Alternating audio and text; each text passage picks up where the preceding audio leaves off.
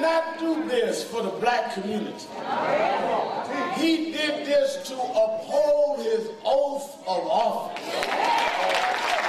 to protect the citizens under the law.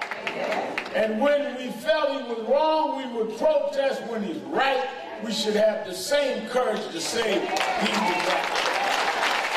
He said it best when he said wrong is wrong.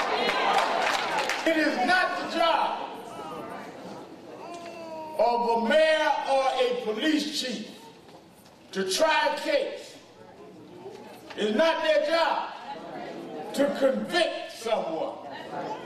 It is their job that if there is enough evidence to proceed, prima facie evidence, that you charge the man and let a jury decide. There was a video here. There's been videos other places. And they would not arrest them and charge them. They tried everything they could. At least in the deep south. Now you got a bar that you got to reach all over this country to quit playing with